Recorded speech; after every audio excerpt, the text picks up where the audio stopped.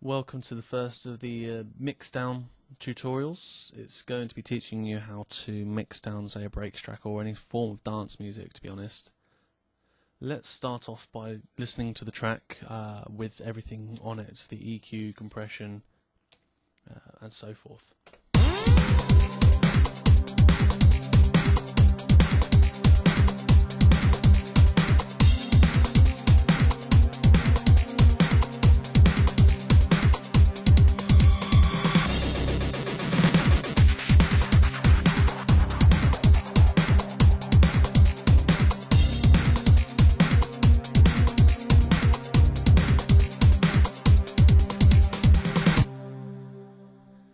You can hear, everything is very punchy and smacks through the way a dance track should, in my opinion.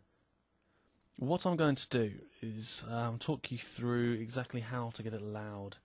Now, the first thing that I always say to all my students and to pretty much everyone is that you're working in the digital domain now. If you're working on the computer, you're working in the digital domain.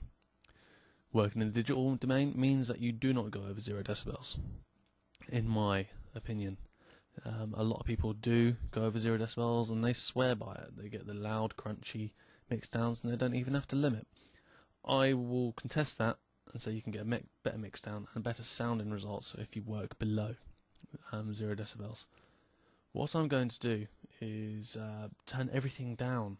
In order to get things loud in, in music on, on a track, a, a big misconception is to turn everything up. If you turn everything up, um, you're gonna you're gonna muddy up in the entire mix. My advice was to turn everything down to zero. I am also going to turn off all the EQ and effects, like so. What I'm doing there by clicking those, I'm disabling the tracks. Now here we go. I'm going to start turning everything down, absolutely everything down. Whilst I'm turning everything down, I think to myself, well, this is a breaks track. What are the main elements of a, ba- a track in it for me? For me personally, it is the kick, the snare, and the bass. Everything else fits around that. If you've got those three elements right, uh, you're going to be laughing, to be honest. So what I do, uh, and I'll do this on all my tracks, um, you may do it differently. I do it like this. I mix down to minus six decibels. Why? Because it's got a nice line there that's pretty much it. You can mix down to minus 12, 0. Um, I know other big producers who mix down to say minus 4, minus 2, and so forth. If you mix down to 0 decibels, you're not going to leave yourself much room for any adjustment. If you have to turn stuff down or to get something louder in the mix, you haven't got much uh, room to play about with. So, what I'm going to do now is just play the track and what I'm going to do, my main first thing that I've got what I want in the track is the kick. And I get the kick to around about minus 6 decibels. Okay, that's fine, I'm happy with that. Now the snare.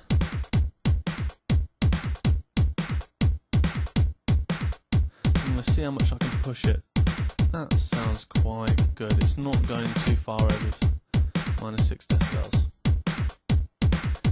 Now I can bring up the hi-hat.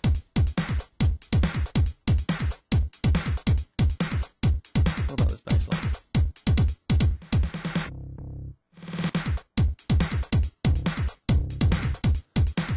Bass line sounds a little bit weak.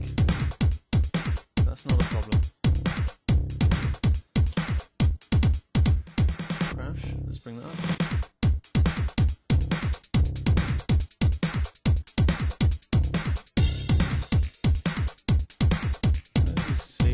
Slowly bringing everything up. Keep on, keep your eye on the master fader here. It's still not floating around too much. It's going up to say minus four, maybe spiking up to minus three. That's okay because we're still below zero decibels.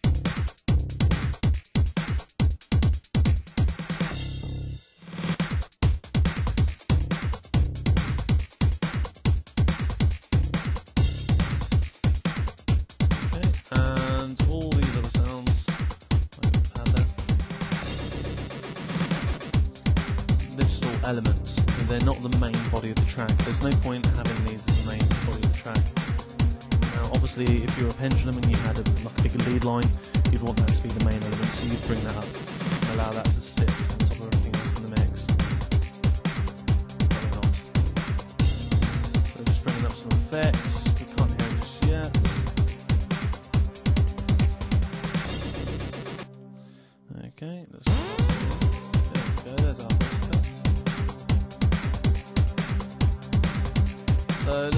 Peak of that. That's peaking at around about minus two, minus three decibels. That's fine, that's, that's given us three decibels of headroom, but basically we'll mix it down to zero, minus six decibels. Now some people say, are you going to get noise? If you mix down low, you mix down below zero decibels, the more noise you're going to be creating. I would say yes on an analog desk. Um, that on a say a Behringer desk, that probably would be the case. On a good analog desk, no, that's not the case. Um, on an analog desk, I'll generally take it over um, and just drive all the channels a little bit, just to get that little bit of circuitry warmth.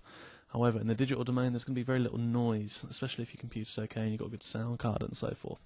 Um, so between minus six and zero decibels, you're looking at a tiny, tiny, minute amount of noise, which is not going to be picked up either on a CD or, especially not vinyl anyway.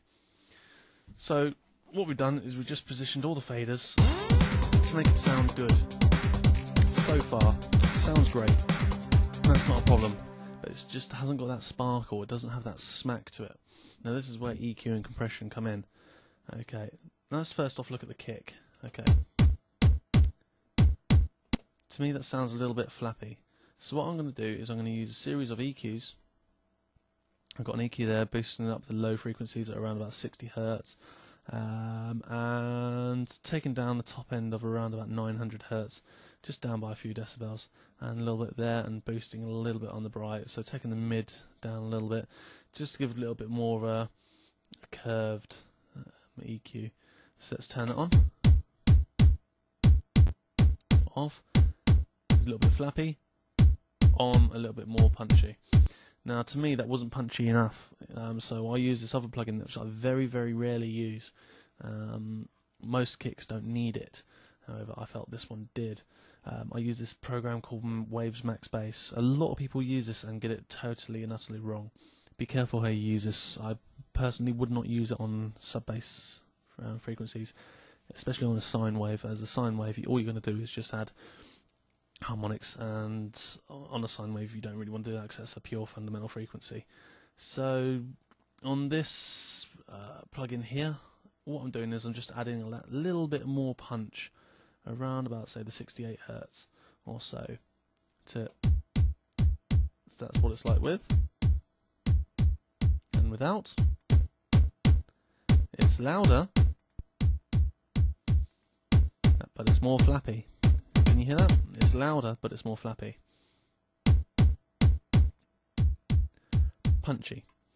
Now, because it's quieter, that's okay. We've got all of this fader level to use. So we'll just turn it back up to where it was. That sounds a lot warmer, a lot better, a lot heavier than what it did initially. Hear that kick now? Immediately it's sounding better already. It's sounding more like a dance track. Let's go on to our clap. Okay. What I'm going to do is I'm going to use again EQ, using boosting a little bit higher, a low, low frequencies, and again making it sound a little bit better. Taking the EQ off. It's not snappy, is it? Now it's a lot snappier. Okay. Um, the off hats, there's no EQ on that, uh, so there's no worries there. Doesn't need it, it's fine. It's just pure little break that I've just got off the internet, it's not a problem. Uh, let's have a look here. Got the 16th, there's no EQ needed on that, that's fine as it is, I'm happy with that.